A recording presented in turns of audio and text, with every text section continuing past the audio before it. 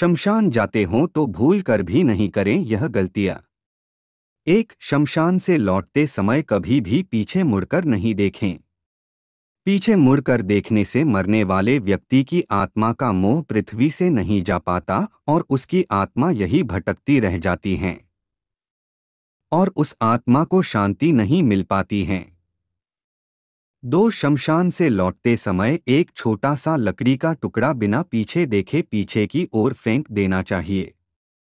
तीन शमशान से वापस घर आने पर नीम की पत्ती को चबाकर कुल्ला करना चाहिए और फिर हाथ पैर धोकर शरीर पर गंगाजल का छिड़काव करना चाहिए।